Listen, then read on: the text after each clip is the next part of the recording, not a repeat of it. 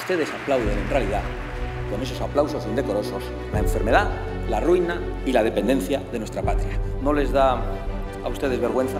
Lágrimas falsarias aquellas y aplausos falsarios los de sus correligionarios estos días. De un rescate que traerá ruina porque ustedes no van a recortar ni un solo euro del gasto político, ideológico y partidista que atenaza a los españoles y que les cose a impuestos. Un rescate que implica la pérdida de soberanía porque ahora dependeremos más si cabe de los países del norte. Un rescate que contempla más efecto llamada porque ya prácticamente nos lo exigen a la inmigración ilegal, con más inseguridad y con más pobreza para los españoles más necesitados. Y un rescate con el que ustedes han abandonado una vez más al campo y han condenado a la industria con sus obsesiones ideológicas. Un rescate que ustedes aplauden insensatamente porque no respetan a los españoles. La sociedad española exige y merece mucho más y por eso les anuncio que no nos queda más remedio que usar el instrumento de la moción de censura.